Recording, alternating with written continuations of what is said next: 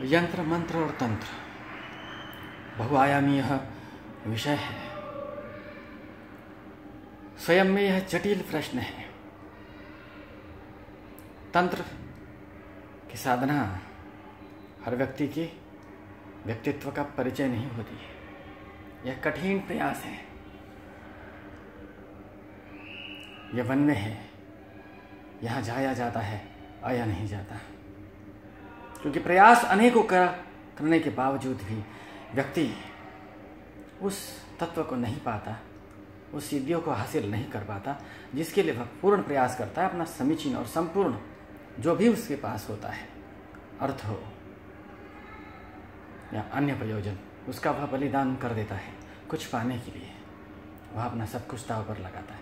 लेकिन बिना योग्य गुरु के बिना योग्य साधन के संसार में कोई साधक सिद्धि हासिल कदापि नहीं कर सकता है। जिनागम में, जैन शास्त्रों में अनेक प्रकार की विद्याओं का वर्णन आचार्यों ने तथा ग्रंथों में उस उस आधार से किया हुआ है। यह विराट और विशाल अध्ययन का यह सब्जेक्ट है, विषय है। विस्तार से मैं आपको क्या कह पाऊँगा, यह तो समय ही आएगा तो बताया बताया करूँगा। अब थोड़ा थोड़ा जो जो मेरी जानकारी स्वयं की है। पुस्तकों की जानकारियाँ मैं आपको नहीं दूँगा। पुस्तकों के वो कोई रहस्य, जिन रहस्यों में कोई अर्थ ही नहीं है, वह मैं आपको कदापि नहीं बताऊँगा। लेकिन मैं वही बातें आपके सामने शेयर करूँगा, आपके सामने प्रस्तुत करूँगा और वही लिखूँगा जो मेरे स्वयं के सिद्ध अनुभव है और जो मैंने पाया है। जब पाता है व्यक्ति तो खोता भी है। अब मैंने क्या खोया, वो महत्वपूर्ण नहीं है, क्योंकि जो खोया है, वो मैंने अकेले नहीं खोया है। लेकिन जो मैं पाऊँगा और जो मैंने पाया है, वो सिर्फ़ और आप लोगों के लिए, समाज के लिए, देश के लिए ही वह समीचीन और जो भी मैंने पाया है, वो अर्पण कर दूँगा। कोई कहता है कि तंत्र मंत्र होते नहीं हैं। जैन शास्त्रों में अंजन चोर नाम का एक व्यक्ति था, जिसने आकाशगामी विद्या सिद्ध की। छोटे छोटे उदाहरण हैं। अब मैं शमशानों में बैठता हूँ, साधना करता हूँ। डर मुझमें नहीं है। जिनमें डर है वो साधना नहीं कर सकता। चाहे वो दिगंबर साधु हो या वस्त्रधारी साधु हो। जिनमें डर है, वो तो बंद कमरों में भी डरता है।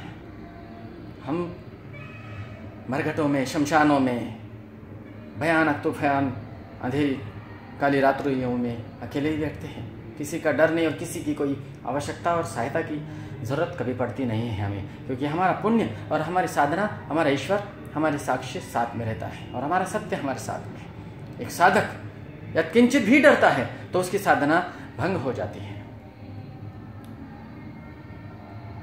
शास्त्रों में मंत्र तंत्रों के अनेकों प्रकार के भेद बताए गए हैं। कौन से कौन से भेद होते हैं?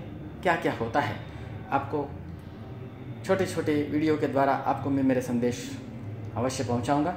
आशा करता हूँ कि आप, आपके मन में जो भी विचार होते हैं, पॉजिटिव हो, नकारात्मक हो, योग्य और शालीनता से यदि आप लिखते हैं तो आपको जवाब अवश्य दूँगा। समय अनुकूल। क्योंकि मेरे पास समय होता ही नहीं है।